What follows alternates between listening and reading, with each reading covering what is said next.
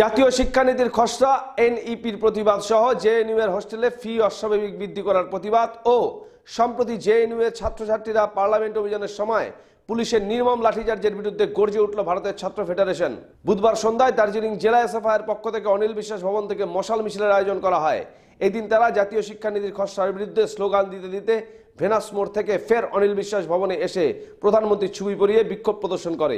দার্জিলিং জেলা এসএফআইয়ের সম্পাদক সাগর শর্মা অভিযোগ করে বলেন, শিক্ষা প্রতিষ্ঠানের মেরুদণ্ড ভাঙার জন্য কেন্দ্রের সরকার এনইপি আনতে চলেছে।